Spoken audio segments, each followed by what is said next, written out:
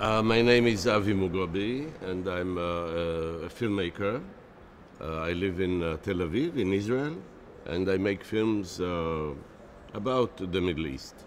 Well, very frankly, I was invited, and um, I thought it was uh, would be um, a good opportunity uh, to show uh, my film uh, in the context of uh, other films dealing with um, questions of uh, refugees or um, um, uh, outcasted uh, communities.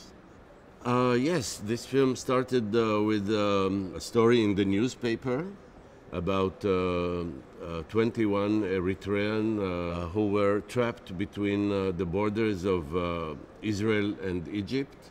They crossed the Sinai Desert and arrived at the border and uh, managed to cross the Egyptian fence.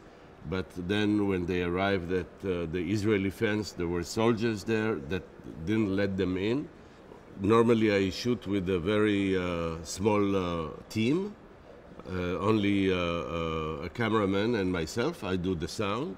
This time it was no different, only we had another collaborator, which uh, uh, is Chen Alon, a theater director, uh, who um, directed the theater workshop that we documented.